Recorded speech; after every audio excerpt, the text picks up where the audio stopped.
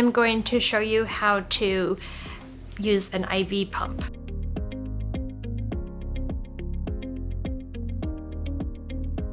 Open your tubing.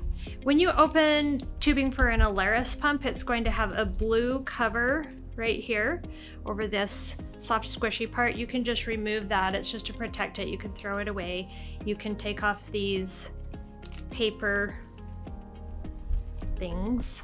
Just like with primary tubing that you already know, you're gonna spike your bag, fill up your drip chamber, and then prime your tubing all the way through to the end. Once you get it primed down to the end, close your roller clamp. Now tiny little bubbles in the tubing are okay, but if you have a big space, continue to prime over the sink or into a garbage can. But be especially careful that you don't have any air bubbles in, in this soft area. This is the only area that the pump can see, and if it ever beeps that there's air in the line, this is where the air is. Now a little trick is to load the tubing into the pump before you turn the pump on because once you turn the pump on and you open the door to this channel, it's going to beep at you. And we don't like that. So we'll just leave it off. To open the door, lift up the latch, swing it open. To load the pump, you take this blue part and you slide it into this blue area right here. And it kind of clicks into place.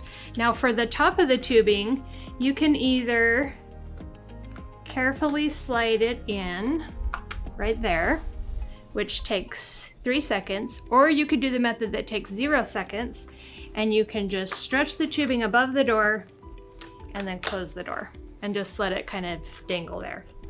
So once your tubing is loaded, turn your pump on right here on this brain area. It's first going to ask if you're if it's a new patient or not so it can retain the old settings. If it's a new patient, press yes. Then it's going to ask for a patient ID entry. You may be scanning your patient or you may be entering on the keypad their hospital number for record keeping, and then press confirm. Then it's going to ask which channel you want to use. You may have multiple channels attached to your pump, and in order to choose the channel, you have to press the soft key on the channel itself rather than the soft key that corresponds to this A. This is a safety mechanism so that if I had several channels, I actually have to go to the channel and say, this is the one I'm programming. So I really like this feature. Press channel select on the channel. Then it's going to come up with a guardrail drug library. Always, always use that. This has medications, even just basic IV fluids programmed into it. Ooh, this is the silence button, it's your friend. And it's gonna have hard parameters so that you don't make medication errors if you use it. So choose your guardrail drug library, choose your medication, they're listed by alphabetical order. Um, once you choose your medication, it's going to ask you what rate you want to infuse your fluid at. And so according to the order or according to the math that you did, enter the rate, and then it's going to say VTBI, which stands for volume to be infused. And so depending on how much you're hanging, enter the appropriate volume to be infused. And then once you're ready to run it, unclamp,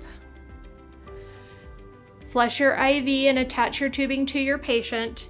And then um, there will be a little a little word that says start right here and then you press this button right here and it will start flowing. And then just verify right here in this window that you have the correct fluid running at the appropriate rate. And last thing, always double check your drip chamber and make sure that yes, you are getting drops and it looks like the appropriate rate. And that's how you program an IV pump.